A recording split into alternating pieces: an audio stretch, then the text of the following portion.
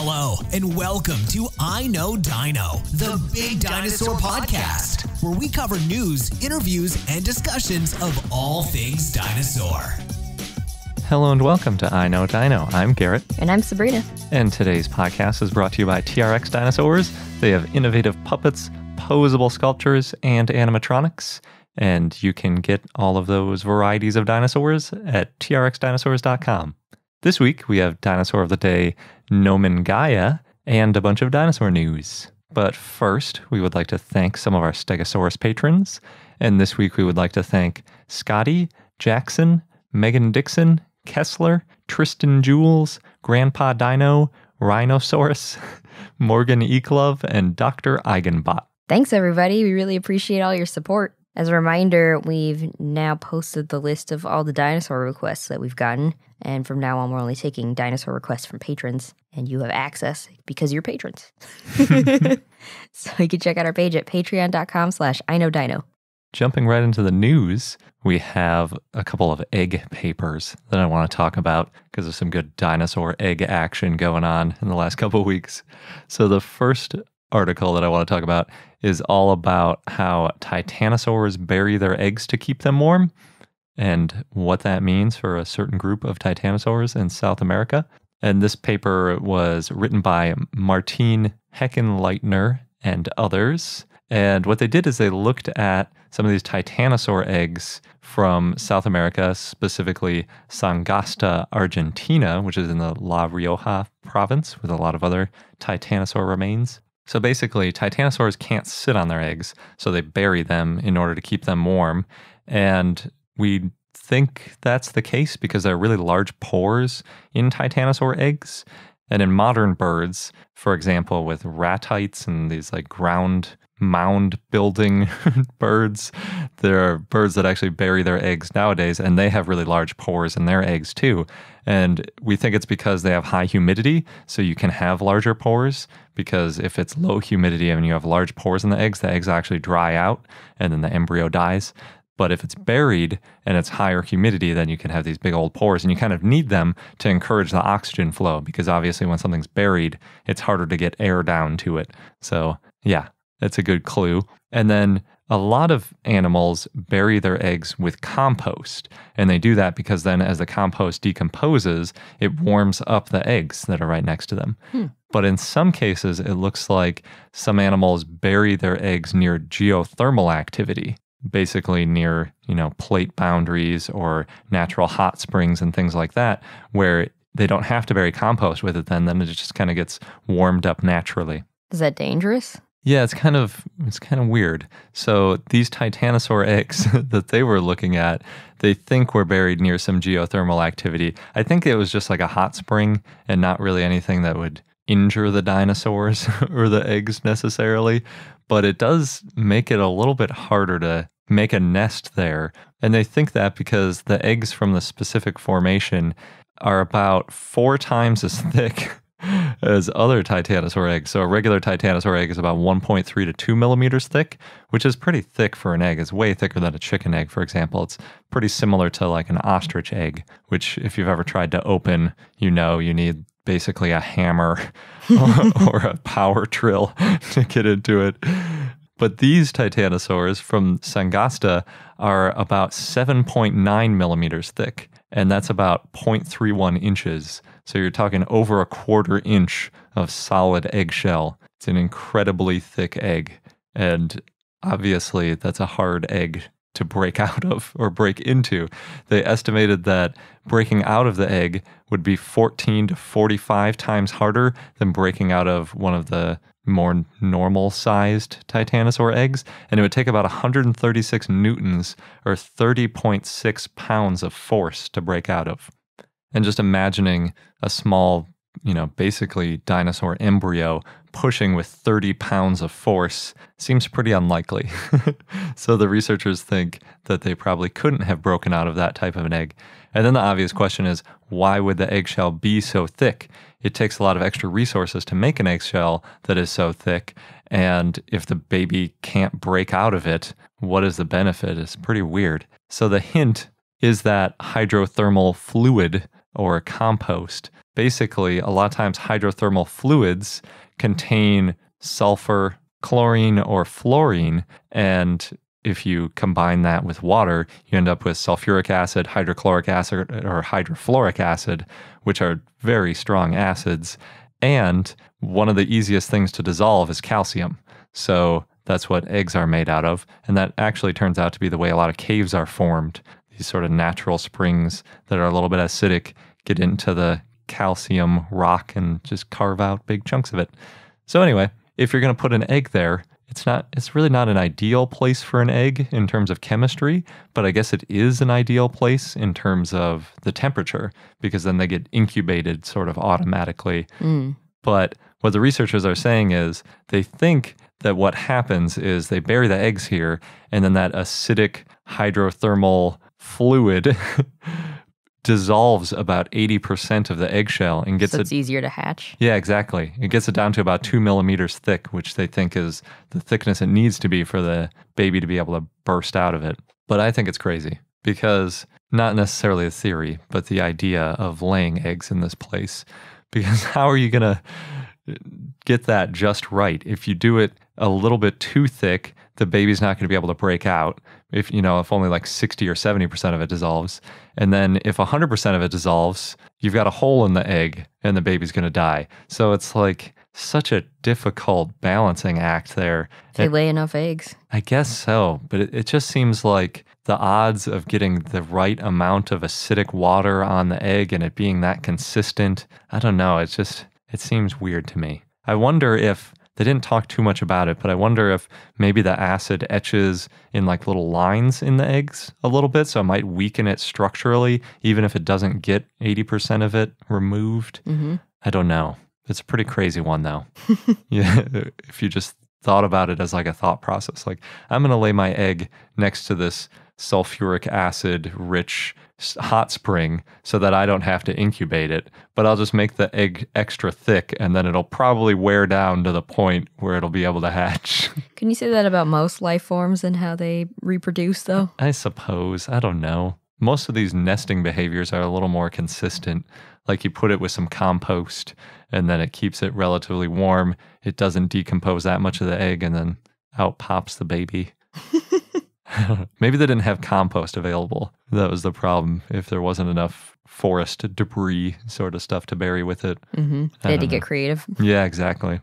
The other egg paper that I want to talk about was written by Shaena Montanari, who we used to talk about a lot. She used to publish a lot of dinosaur related papers, but she hasn't had much lately, maybe because she was working on this paper. Well, I think she got a new job recently, too. Ah, that makes sense. So this is basically a review of different egg papers all across everything. So modern living animal eggs, all the way back to paleontology eggs, and dinosaur eggs are obviously in the mix. And one of the coolest ones in it, we talked about way back in episode 49, which is a couple years ago now. But basically, we think we might be able to determine dinosaur body temperature by looking at the chemistry of eggs. So we talked about it briefly in that episode, but basically, there's something called clumped isotope geochemistry. And at the time, we called it the paleothermometer, which is a much catchier name. and what it is, scientifically speaking, is a delta 47 value. And that's it's called delta 47 because that's the combined atomic mass of three of the atoms in one of the molecules. And specifically, it's carbon 13, oxygen 18, and oxygen 16. And both the carbon 13 and oxygen 18 are heavy versions of the isotope. So basically, there's a couple extra neutrons on it. And the reason that's important is they found a connection between the ratio of this delta 47 value and the temperature at which these calcium containing minerals form. And so, in other words, as the temperature of the dinosaur laying the egg increases, the amount of these heavy isotopes go down. So we can look at the ratio of these heavy isotopes and kind of guess at the temperature of the dinosaur. And in egg terms, that means the temperature that the dinosaur was while the egg was forming inside it. So the mom mama dinosaur laying the egg, that temperature we can sort of measure. And as an aside, apparently this technique also works with teeth, which is really cool because teeth are ubiquitous. We just find them everywhere. Like we find spinosaur teeth all over the whole world. Not true with eggs. You know, it, it's a little harder to find eggs. So, Especially if they've been cracked. You just have pieces. yeah, true. But I mean, if you get a piece of an egg, you could probably still do this, but you wouldn't know what dinosaur it is. A tooth, you can tell what kind of dinosaur it is, and then you could see kind of the body temperature of that type of dinosaur. Mm-hmm. Whereas an egg, they just say, like, oh, it's an oviraptorosauroid kind of thing, or like, just like that. it's a sauropod. Unless there's an embryo attached. Yes, that's pretty rare, but yes. But since you mentioned there being a, an embryo attached, they did find an embryo inside a eggshell at one point and did a similar sort of analysis to figure out what the temperature was. And they estimated that Oviraptorosaurs were close to mammal temperature. But then this more recent paper from 2015, I think that first paper was from like 2008, they looked at both sauropod eggs as well as oviraptorid eggs. Those are kind of the types of eggs we find the most common, I think. Um, the oviraptorid eggs seem to be quite a bit cooler than the sauropod eggs. So the oviraptorid eggs were kind of in the range of a cold mammal to a warm reptile. It wasn't so they they were saying maybe it's like a mesotherm or you know like a warm ectotherm, cold endotherm sort of mm-hmm. thing. But then the sauropods had body temperatures that were really close to modern mammals. So basically like our human temperature, mm-hmm. you know, like roughly 100 degrees Celsius, 99 degrees Fahrenheit sort of range. So pretty warm and a good indication that they were probably endothermic or warm blooded in common parlance. yeah, so I thought that was pretty neat that they found a way to estimate dinosaur body temperature. It's a hard one to figure out, but Yeah. the kind of clever things you can do with teeth and eggs is amazing. What will they think of next? I don't know. I hope they apply this to some more teeth because I really want to know the body temperature of a Spinosaurus. I think it could be interesting with the comparisons to crocodilians and stuff. Mm-hmm. Because people are always like, maybe it's just like a crocodile. And if it had a body temperature that was really similar to a crocodile, Right. that would be fascinating. So, in some other news, Non egg news. non egg news, but still exciting, especially for this kid. It was this nine year old Ashton Roswell who found a dinosaur bone on the Isle of Wight in the UK while playing on the beach. Nice. Nah, that seems to happen a lot. And that means, I think, according to UK law, he probably got to keep it if he wanted to. Oh, I couldn't find any details on that, but the reason he found it is pretty cool. He's been watching YouTube videos about fossils, Hmm. and then when he saw it, he thought, oh, this is something. And it turns out it's an iguanodon vertebrae. Oh, cool. Yeah. That means he probably gave it to a researcher if it's been identified. Yeah, I think so. Nice. But there wasn't a whole lot on it. But that happens a lot. You've got kids, or I guess we've heard about kids and their grandparents. They're low to the ground, so they're closer to the fossils. Or they're looking. Yeah, that too. Yeah. Playing in the dirt. You've got some exhibit news. Brown's Farm Barn in Pennsylvania has a free fossil exhibit called Unearthed. It's open on Tuesdays and Saturdays this month in July. Only two days a week? I think so. Hmm. But it's cool. The curator is Scott McKenzie. He's the assistant professor of geology and paleontology director at Mercyhurst University. And these fossils, they come from private owners, so they're on loan. They're also from the university's collection. And people have found these fossils when they're gardening or farming. Hmm. So yeah, just kind of doing their own thing and they find something In the interesting. dirt? Yeah, in the dirt. So they've got it's not just dinosaur bones. They've also got a mammoth skeleton, Dunkleosteus bones, a cast of a T-Rex tooth, a skull cast of a Hadrosaurus, and then a lot more stuff. And the curator, McKenzie, he's going to be at the exhibit as often as he can to answer questions and examine new finds. Maybe that's why it's only open two days a week. He's got to carve two days out of his schedule to sit around the exhibit. Yeah, or questions. somebody that he works with if he can't make it. I think. Gotcha. Yeah. Well, that's really nice. That is a thing you tend to run into more at smaller museums, hmm which is kind of strange when you think about it because these big museums have so many resources and everything. But it, sometimes you want to talk to somebody, there's nobody around. You go into these small museums, the owner, person who found the fossil, Yeah. and guy running the shop are all the same person. And then you can talk and to get them. all the details. yeah, yeah. It can be really fun to go to some of those smaller museums. There's another one. I think it's in the same county in Pennsylvania. This is in Sandy Township in DuBois, Pennsylvania. They're going to have a new dinosaur exhibit sometime soon. I couldn't find too many details about when, but this person, Dr. Jeffrey Rice, has a real estate holding company property and plans to have a showcase for displays with animatronic dinosaurs and 10 full size fiberglass dinosaurs that kids can climb on. Hmm. But no other details yet. Interesting. Yeah. A lot of stuff going on in Pennsylvania. In, I think it was Erie County specifically. There's a lot of people in Erie County. yeah. It's near Ohio. Very popular spot. And apparently has a lot of fossils. Yeah, cool. Moving east. In Chelsea, Massachusetts, there's a brewery called Mystic Brewery. They're relaunching a beer this fall in honor of the, oh, don't know if I'm pronouncing this wrong, the Sagus orange dinosaur. Could be Saugus too, maybe. Yeah, it's this, the famous orange dinosaur in Massachusetts on Route 1, which we've definitely talked about. And people who work at this brewery pass by it all the time. And so they made this dinosaur beer for it back in March. It's a That's double, cool. yeah, it's named Orange Dinosaur. It's a double IPA. It's got an orange color, aromas of mango and passion fruit. I guess that also kind of gives it the orange color, or at least, you know, lets it be orange. hmm so the beer's coming back in November. Cool. hmm I want yeah, actually now thinking about it, in Massachusetts they leave out tons of sounds from their words. So it could just be like saw or like suh Oh, or I don't know. If anyone's listening from Massachusetts, please tell us how to pronounce this. It's okay, it'll probably never come up again. You never know. In November it might, I guess, when Yep. the beer comes out. Yeah. Now, in Canada, in Drumheller, Alberta, which is the home of the Royal Tyrrell Museum, there's a new metal dinosaur on display that's called Locks of Lovosaurus. Hmm.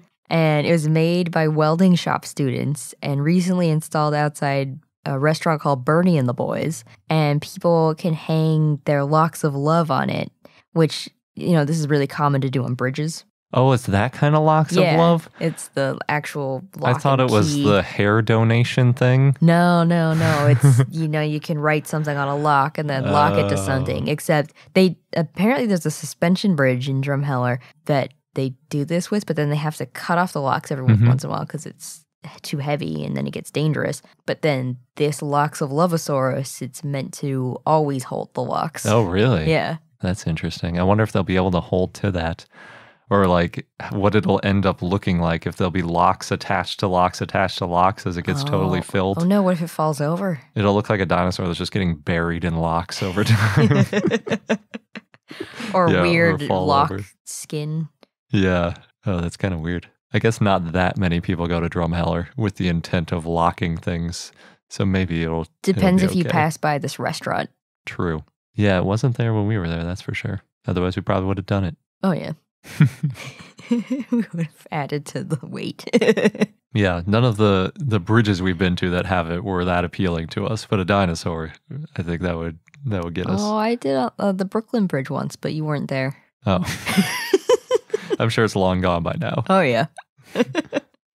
Next, thanks to Sarah who shared this one with us via Facebook. There's an online shop called Love Pop that makes pop-up cards, and they have three Jurassic World Fallen Kingdom cards available of a T-Rex and Blue and a Pteranodon. Hmm. Yeah, it costs fifteen dollars, kind of Oof. pricey, but they leave it blank so you could use the card for any occasion. Yeah. So if you're going to give someone a twenty dollar gift card, you give them a five dollar gift card and the card. Fifteen dollar card, yeah. I don't know how much they'd appreciate that. I I think I'd probably enjoy it. It Yeah. sounds like they're cool. Yeah, no, they are very detailed. I'm impressed. I'm always impressed with pop ups. They're probably laser cut or something like that. Oh, I think a lot could of those pop up cards are like that. Pretty neat. Different kind of pop up. Next, Japan has a pop up Jurassic World themed restaurant. Hmm. So from now until August 6th, it's going to be in Tokyo. And then from August 10th to September 30th, it's going to be in Osaka. And people can eat at the restaurant. It's to commemorate Jurassic World Fallen Kingdom. Oh, cool. It's like officially licensed or It looks like it. Hmm. I couldn't figure it out for sure, but based on the pictures, because all the meals are basically dinosaurs from the movie. oh, that's cool. Yeah, there's a Jurassic World burger and There, the picture I saw was kind of confusing because the description was the plate looks like it's scraped by a raptor, but it looked like the picture was a like the bun was a raptor face or something. Huh. I couldn't, but then it also looked like maybe that was a dessert and not a burger. I couldn't tell. Hmm. yeah, something might have gotten lost in translation there. maybe there's also a volcano curry. Hmm. looks like a mountain's exploding next to a salad. The salad's like a jungle, then the mountain's got the curry lava. There's something called Powerful Wild Plate. It's got raptor footprints. Hmm. For dessert, you can get a fossil excavation cake that has a brush so you can brush it off. And There's a dinosaur egg cake. It looks like a baby dinosaur is about to hatch.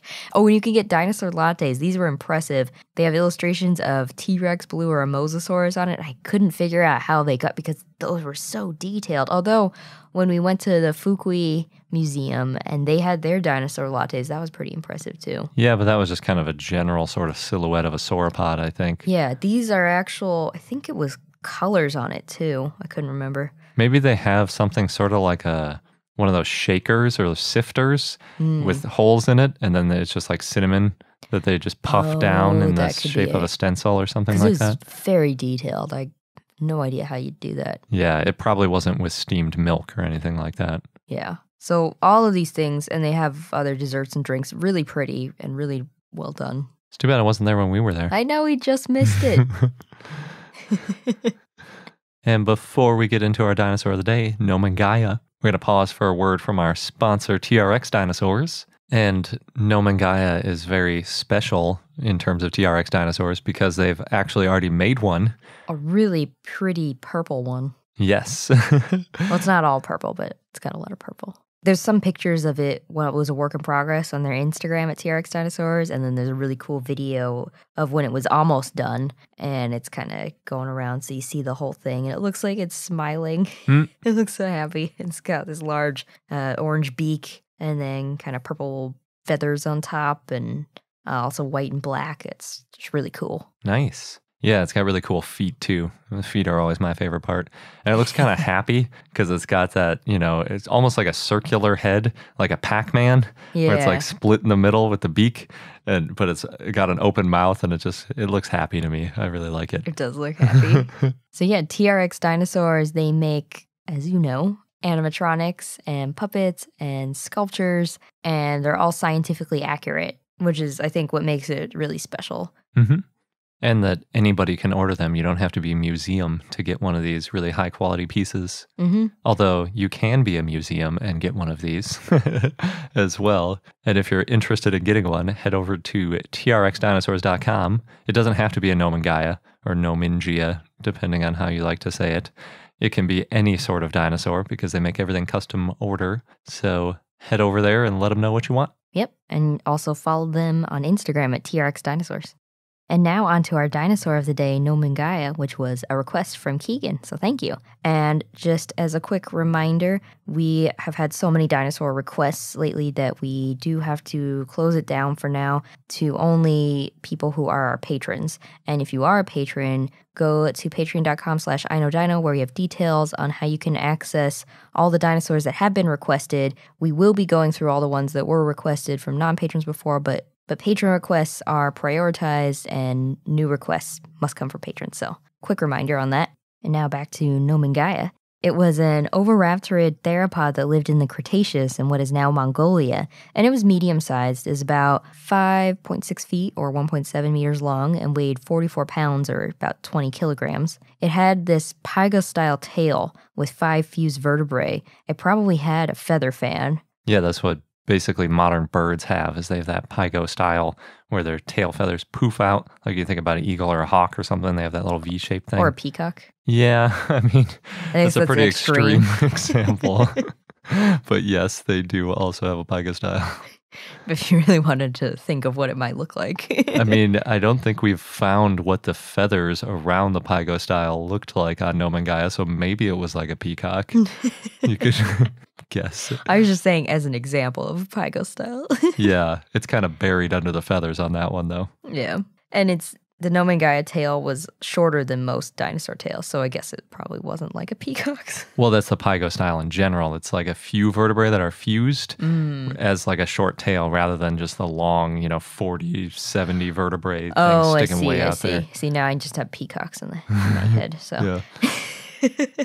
anyway, Nomengaia could have used its tail for display, where maybe one bowed towards another and raised its tail. And then the one with the largest and best developed tail would be considered the most attractive, which I actually I think that is like peacocks. Yeah.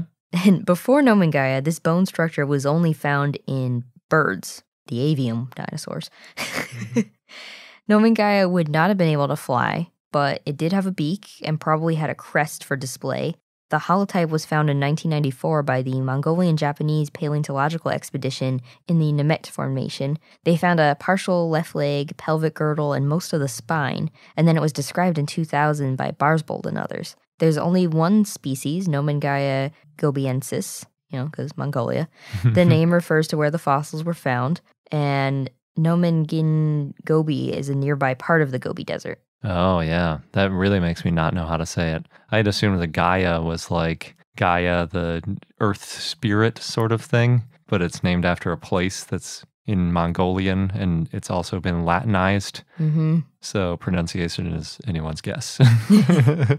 Yes. So in many of these cases, we just do our best. yeah. They very rarely give you a pronunciation guide in the paper. yeah. So, yeah. But nomen Gaia or Nomingia or however we want to say it, it's unclear what it ate. Other dinosaurs that lived in the same time and place include the Ornithomimosaur Gallimimus, the Therizinosaur Therizinosaurus, the Hadrosaur Saurolophus, the Ankylosaur Tarchia, the Sauropod Nemegtosaurus, Dromaeosaur Adasaurus, the Troodont Zanabazar, and tyrannosaurs such as Alioramus and Tarbosaurus. Yeah, there's a lot of stuff in that Nemegt formation. Mm-hmm.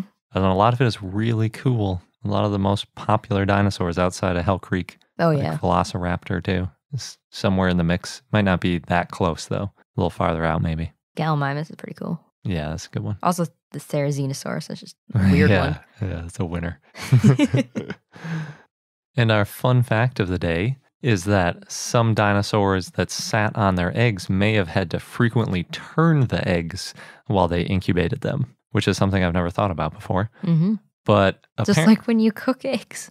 oh, that's one way to look at it. I was thinking how modern dinosaurs, also known as birds, turn their eggs while they're incubating them. Uh, But I guess you can talk about eating their babies if that's what you're into. oh, well, and you put it like that.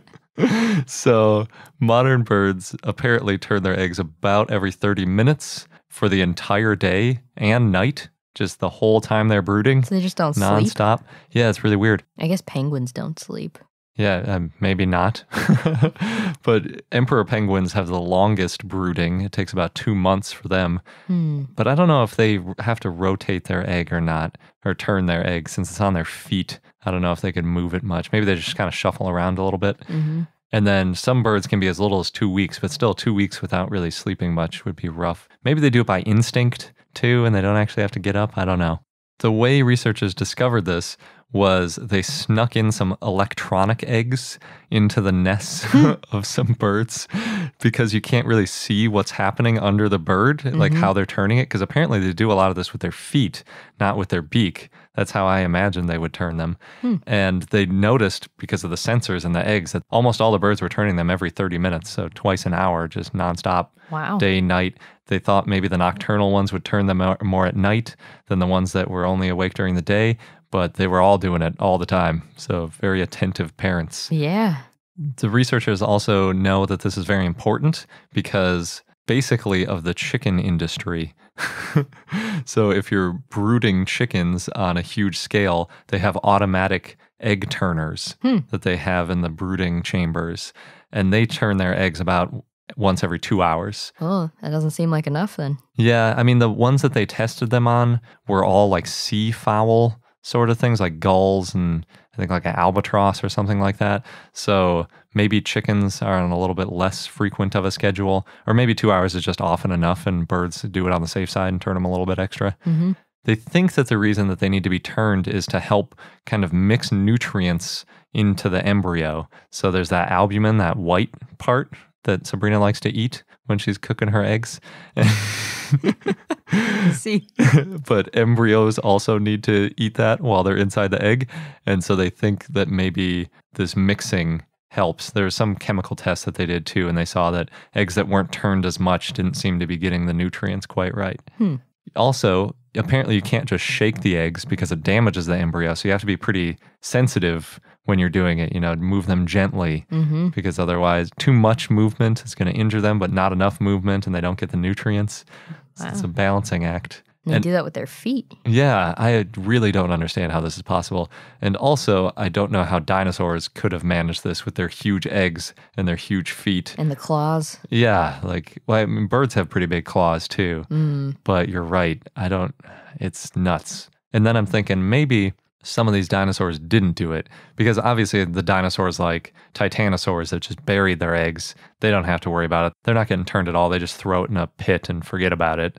And a lot of modern animals do that too. They don't always have to turn their eggs, but most modern birds do, at least the ones that contact incubate them. So I'm wondering if the dinosaurs that did contact incubating had to turn them or not, or maybe it was some kind of in between realm where they were contact incubating them, but they weren't turning them. And then the eggs just took a little bit longer to hatch or didn't quite get the nutrients as quickly as modern birds do. Hmm. I don't know. It would be really cool to see like a gigantoraptor stirring its feet underneath itself to move the eggs around. I wonder if you'd notice it more than you would in a modern bird because it's so big. Yeah, I think you would. yeah, especially if they didn't have enough feathers to kind of cover up where they were stirring them up. Or maybe they use their mouth more. Like that recent paper with, I think it was Daspletosaurus, the tyrannosaur, where they said it had sensitive skin or sensitive scales by its mouth. And they, you know, we're proposing different reasons it might have had that. Maybe it's for shifting eggs in a nest, Hmm. but I don't know. This tyrannosaur foot seems like it'd be pretty hard to push around an egg gently. Yes. Also, it seems like the feet would have thicker skin or something to protect it. Then how do you feel? Mm-hmm. Yeah, would they be sensitive enough? That's a good Mhm. question. Maybe we'll figure out a way to determine this at some point. It seems like a tricky one to establish, though. Build a robot Gigantoraptor foot with an electronic egg. Yes. oh, you could see if it was plausible, yeah. Yeah. But then whether or not the egg needed it at all, well, I don't know how you do that, one. but yeah, it's a good point. And that wraps up this episode of I Know Dino. Thanks for listening. Don't forget to subscribe so you don't miss out on any new episodes. And check out our page at Patreon at patreon.com slash I Know Dino. Thanks again, and until next time. Thank you for listening to I Know Dino. If you have any questions or comments about dinosaurs, we'd like to hear from you at plesiosaur at iknowdino.com. And for more information on dinosaurs, go to iknowdino.com or follow us on Google, Facebook, Tumblr, or Twitter at I Know Dino.